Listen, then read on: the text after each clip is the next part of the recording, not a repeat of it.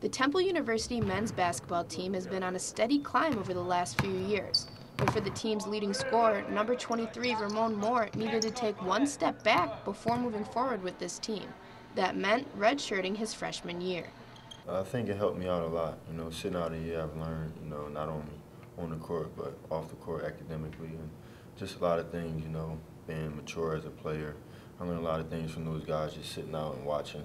Well, first of all, it was Ramone's decision. I think he really very maturely came to us and said, you know what, I don't think I'm as ready as I need to be physically, nor am as, as I as ready to be uh, academically. Uh, so I need to kind of take a step back here. Since redshirting his freshman year, the junior guard has been more than successful on North Broad Street. In his freshman year, he became one of three freshmen in Temple history to score in double figures in his first three games. Chance to play behind Dionte Christmas and Mark Tyndale and those guys, you know, they showed me, showed me a lot.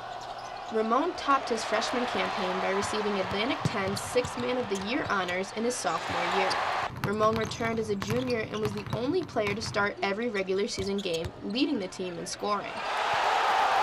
Just, you just got to work. You can't, you can't put your head down and let people you know say, uh, if you're not playing, you should transfer this and that.